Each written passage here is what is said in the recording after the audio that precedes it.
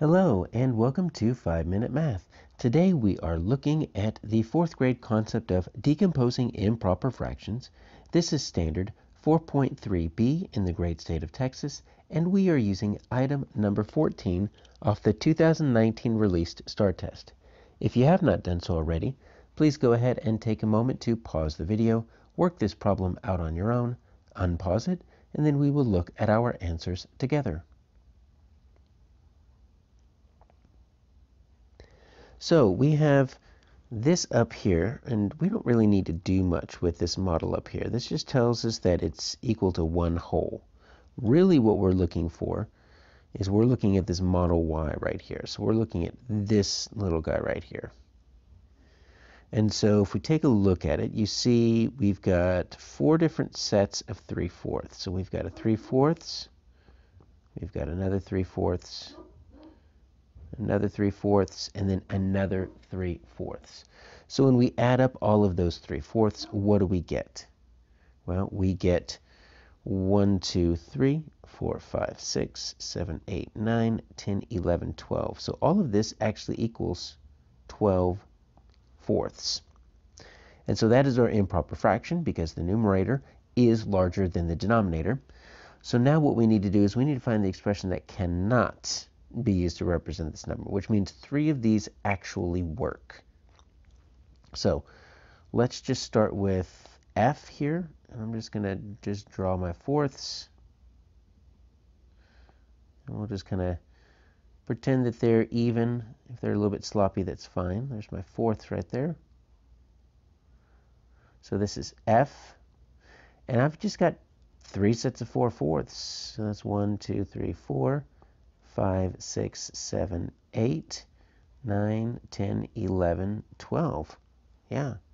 4 fourths plus 4 fourths plus 4 fourths does equal 12 fourths, which means this is really three wholes because as you can see, I've got three wholes bubbled in.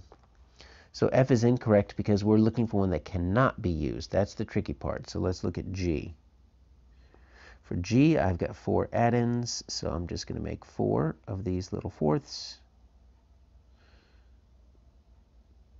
That's one, two, and that's three. And as you can see, G is a little bit weird because I've just got one fourth and one fourth and one fourth and one fourth. So I've got one fourth, two fourths, three fourths.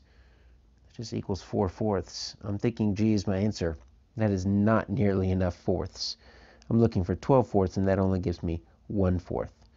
So let's look at H here. And so H has got four different addends. And let's see, the first one is going to be 4. The second addend here is going to be another 4. The third addend, that's where they start getting a little bit smaller. We've got one, two, three. And then that fourth addend is just going to be a one fourth. So let's see. 1, 2, 3, 4, 5, 6, 7, 8, 9, 10, 11, 12. Yeah, that equals 12. I'll put it right here. 12 fourths.